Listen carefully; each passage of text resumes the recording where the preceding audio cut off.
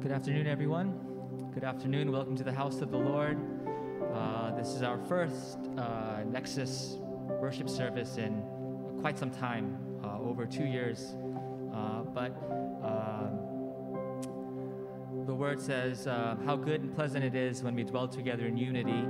And as we dwell together and we sing, as, as we sing his praises together as a body of Christ in unity, um, let us make this uh, praise and this prayer um, sweet incense. May it be, um, may it be sweet unto you, Lord.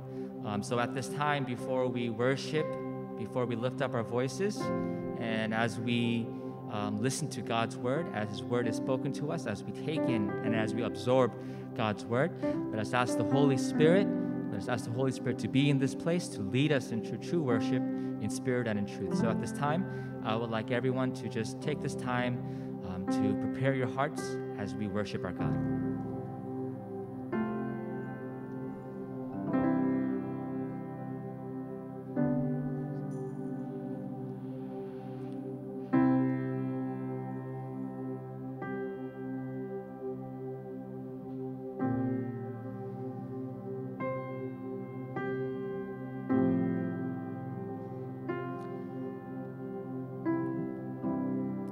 As we sing forever, we will cherish, forever we will honor, forever your, your light will shine bright, your beauty and your majesty. Lord, uh, let us um, be reminded of your love. Let us forever cherish the promises that you have made in your word and in our lives, Father. And at this time, as we lift up our voices, receive our praise, and may you be glorified. In Jesus' name we pray. Amen. Let's all rise from our seats.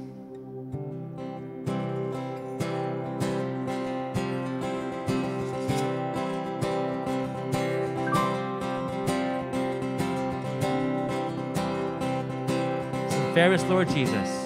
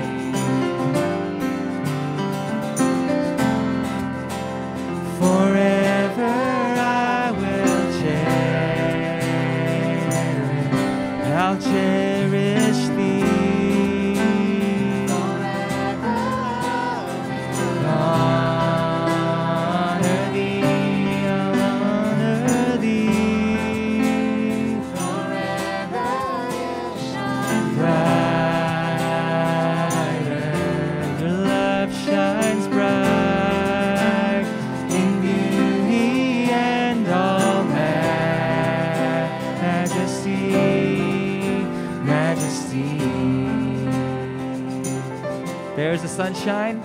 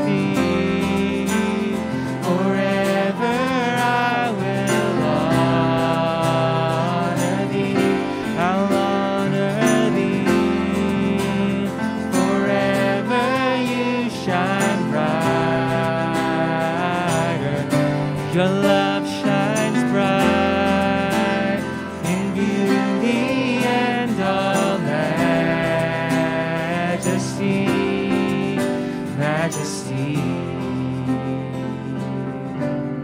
Beautiful Savior.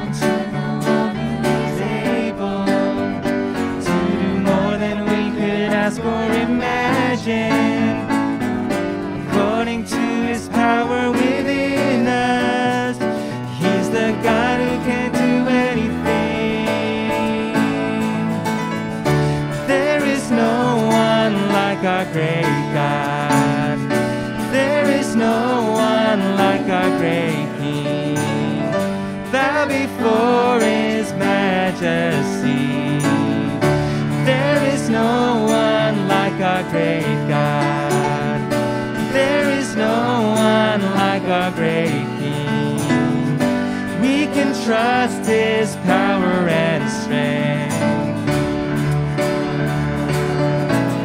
Greater than great, greater than great, stronger than strong, higher than high, wiser than wise.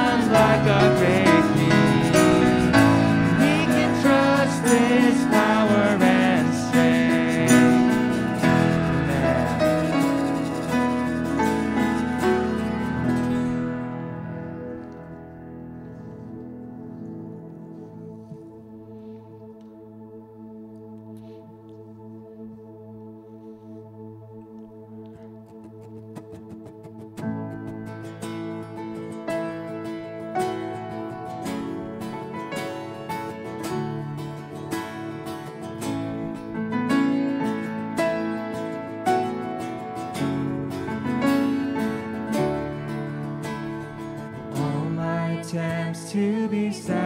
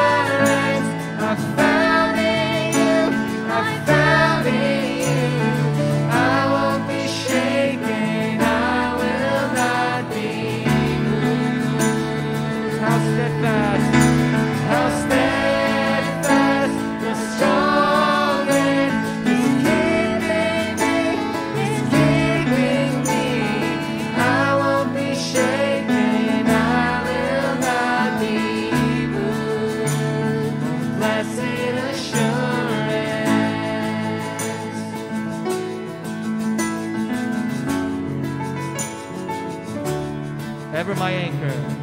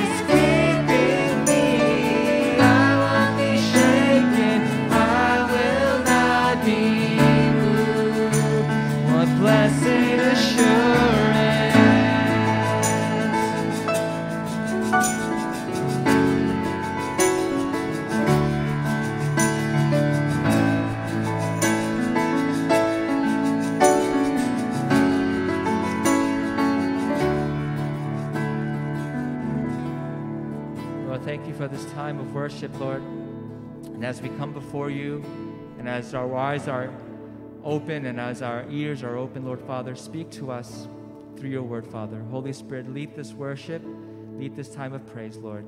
We thank you.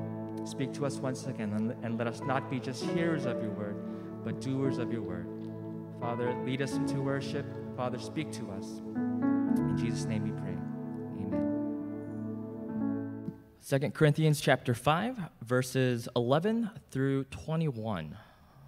That's 2 Corinthians chapter 5, verses 11 to 21.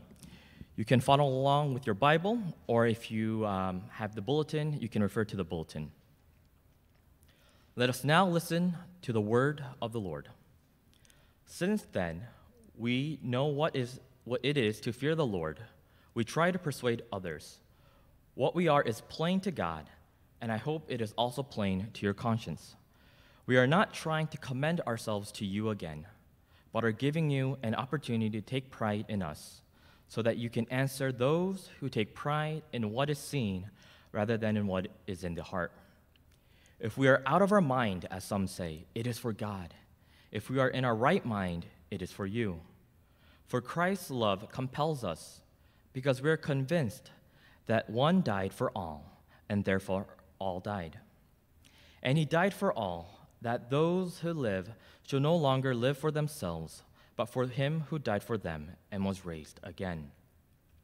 So from now on, we regard no one from a worldly point of view. Though we once regarded Christ in this way, we do so no longer. Therefore, if anyone is in Christ, the new creation has come. The old has gone, the new is here.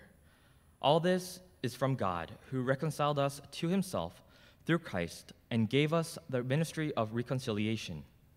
That God was reconciling the world to himself in Christ, not counting people's sins against them, and he has committed to us the message of reconciliation.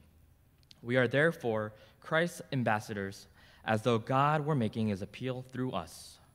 We implore you, on Christ's behalf, to be reconciled to God. God made him who had no sin to be sin for us, so that in him we might become the righteousness of God. Amen. This is the word of God for the people of God. Let us pray. Heavenly Father, we are gathered here at your house to worship you, to praise you, and to listen to your word. May this worship be pleasing to your ears. Come, fill this place with your Holy Spirit. We pray that you will open the mouth of your servant to proclaim the word in the power of the Spirit. Open up our hearts and minds to hear you. In Jesus' name we pray. Amen. So, for those of you that were a part of our 1030 joint service, you will know this is technically my second time preaching here at Youngnak, and especially here at IWE. But before that, I was preaching in front of a camera for about a year and a half due to the COVID situation. So you can probably tell I'm still getting back used to talking in front of people. You know, it's not quite natural for me to speak in front of people. And uh, as I've been thinking about what to preach about these past two weeks, as some of you may know, we had to postpone a week. I kept thinking about the importance of, you know, a good beginning. You know, we today, as of right now, have officially resumed our 3:30 p.m. worship. And the question that kept bothering me, that kept nagging me was what would be the right topic to talk about? You know, and what would be the right word to actually kind of describe our situation?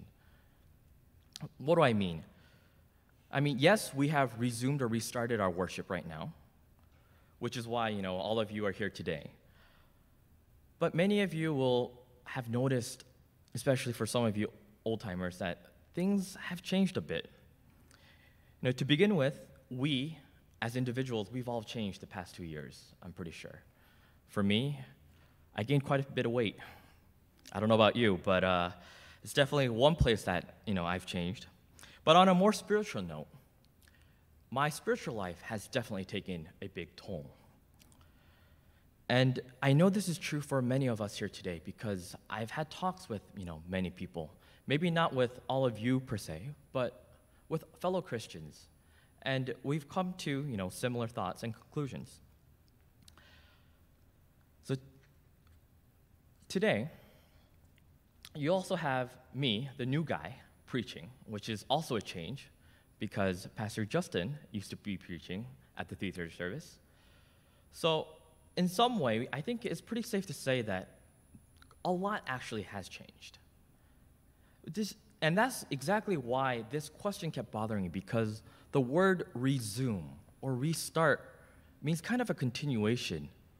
But is it really? You know, it got me thinking. And as I've had this thought the past two weeks, and I was looking through the Bible, the passage from 2 Corinthians, our text today, kind of came back to me. You know, the idea of a new creation. So today, I want to focus on this text and focus on three major points specifically that really speaks to our situation today. So, number one is the fact that we must have fear of the Lord. You know, from the start of today's scripture passage, verse 11, we can see the phrase, the fear of the Lord. And, it, and I'll read it for us one more time. Since then, we know what it is to fear the Lord. We try to persuade others.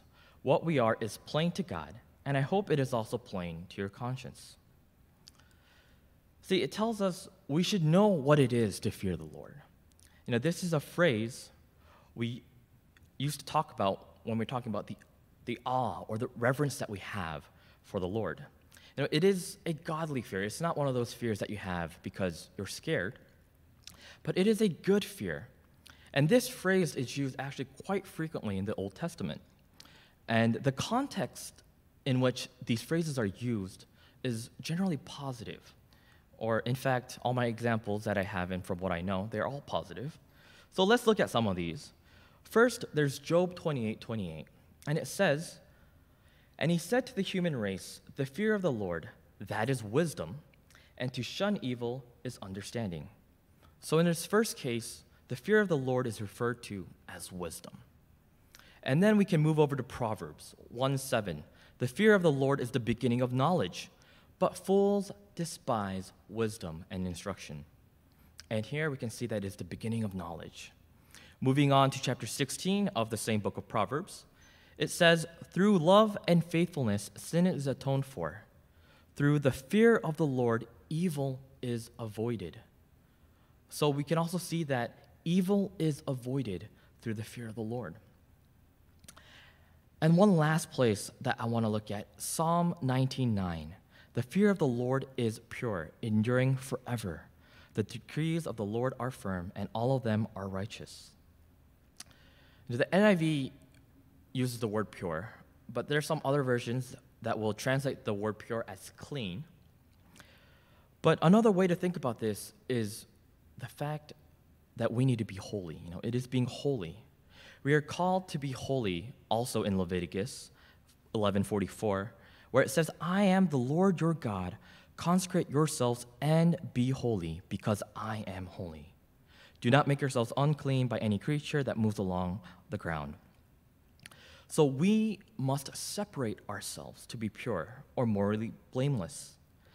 And that is why we need the fear of the Lord. You know, the fear of the Lord is something that we must have because it is the right state of mind, it is the right attitude that we need to have as Christians.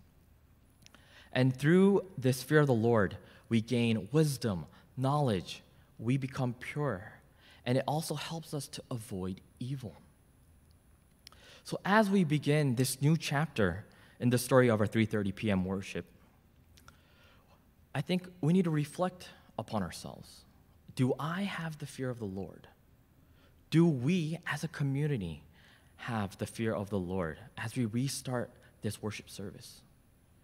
Now, we need to make this a priority to focus first individually ourselves to have the right heart and the right attitude.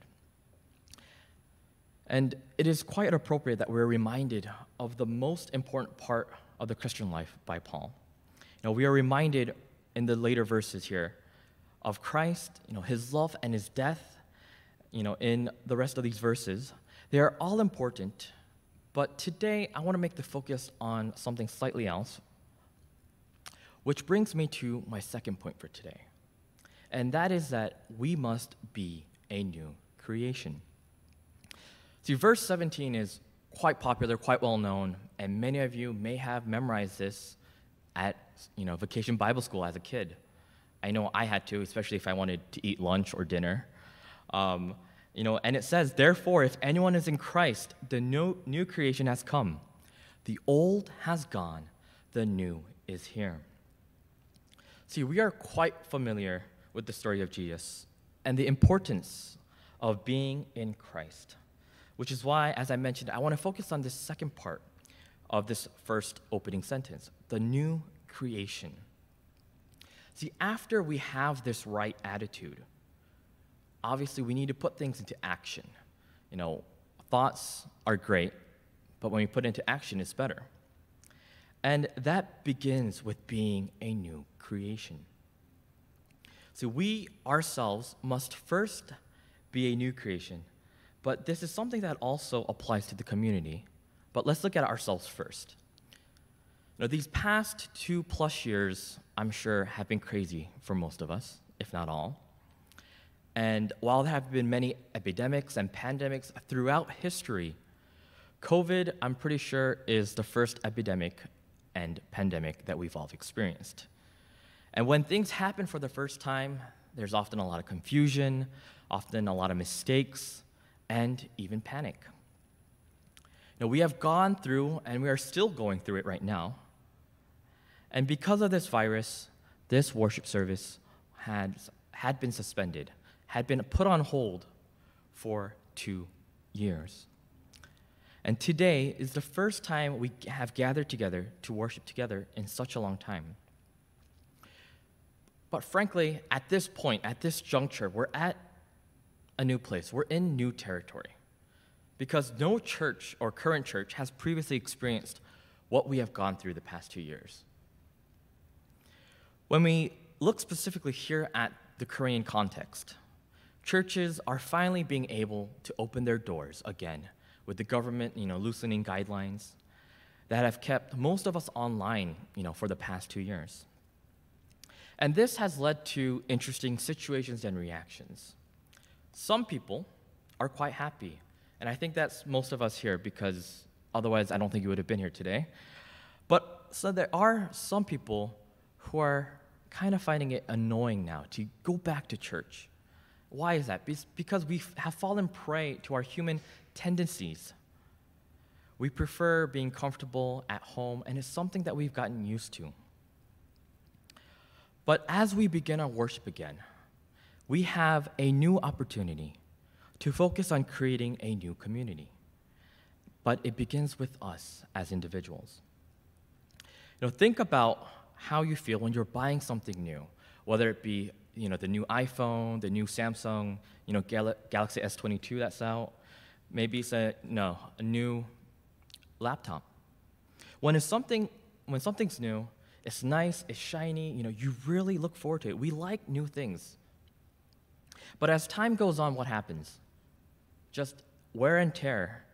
The item gets scratched, you know, and eventually it loses some of its shininess. Eventually, we start to lose interest and we care less and less for it. And I think many of us find ourselves in a similar situation in our lives. You know, over these past two years, it only makes sense that some of us will have lost our shininess, will have lost our desire, our interest for Christ.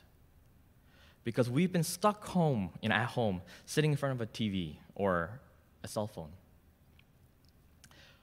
But the great news is that that is now all in the past, you know. And as we saw in verse 17, things of the past are of the past. You know, what matters is now that we are a new creation. We can build and create a community together. You know, we can recreate ourselves. We must polish ourselves so that we can be shiny again, you know, have that new look. And when we recreate ourselves, then our community can also be about creation. And that, this is where, for those of you that may have caught on, is how I came up with the title of my sermon Recreation. And the thing about the title is, you may have noticed there's a colon after the first two letters, R-E. And these two letters mean something. For some of you, you may know what that is.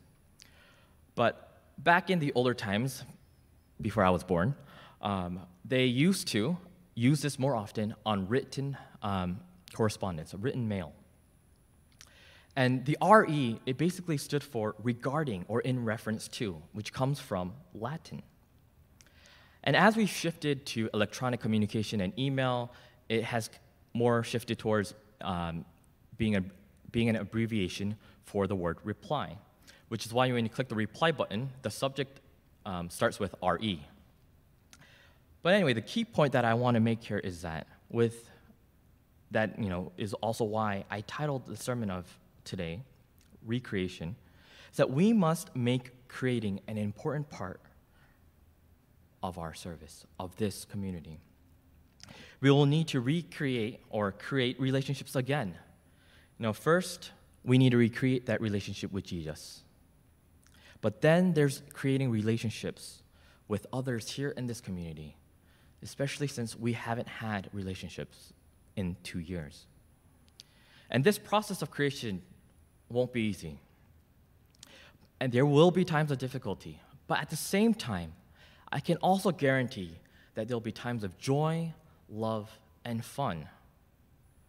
Which is why recreation can also be pronounced as recreation. They go hand in hand. And this brings me to the last point of today, the third point, which is the fact that we must be Christ's ambassadors. Now, this is from verse 20 of our passage today. We are therefore Christ's ambassadors, as though God were making his appeal through us. We implore you on Christ's behalf, be reconciled to God. Know, Paul reminds us here that we are ambassadors of God. And there's two short things from this statement that I want to focus on as we wrap up. Now, the first thing is the communal aspect. Notice that all three of my points today use we as the subject. Not only that, but if you look at today's scripture text, and if you will, for those of you that still have your Bibles open or have the bulletin in front of you, you know, take a quick second to skim through the text. What do you notice? There's a lot of the there's a lot of a single word in there. And obviously that word is we. It gets used again and again all throughout today's passage. And as, and as I was preparing for today's sermon, I also realized something interesting about our name, I We. You know, international worship in English. It perfectly sums this all up. You know, we being the international worship in English, abbreviated as I We, I may come first, but it also must be followed by we. You know, we are a part of it. We are part of a community, part of a group. So yes, our personal faith is important, but I cannot stress how much being a part of a Christian community is just as equally important. Which brings me to the second point that it's just the fact that we are ambassadors. Basically, what does it mean to be an ambassador? We are commissioned by Christ for the work of the universal church. Now, the role of ambassador is one with great responsibility. Because ambassadors go to another country and they live in another country with people who usually speak a different language. They have a different culture. You know, there's a, it's a different context. And that is exactly who we are as Christians. See, we may live in this physical world, so we take part in the life here and work in this world, but we are citizens of heaven. And in that respect, we are strangers here on earth. And that is why it is so difficult to live as a Christian by yourself. And it's the exact reason why we need a community. See, ambassadors, they also speak on behalf of their country. There will be times where we will have to speak on behalf of Jesus Christ as his followers. Now, it is not an easy task, which is why we must fear the Lord, which will keep us on the right path. So may we fear the Lord as we create a community together as ambassadors of Christ. Let's pray. Dear Lord, we thank you for allowing us to gather again for our 3:30 service. It has been a long time since we've had this opportunity. Help us to have the fear of the Lord and to break free from bad habits that may have formed. Give us the strength to be a new creation and to create new relationships with fellow brothers and sisters in Christ as we still strive to be your ambassadors in this world. All this we pray in your precious Son, Jesus' name. Amen.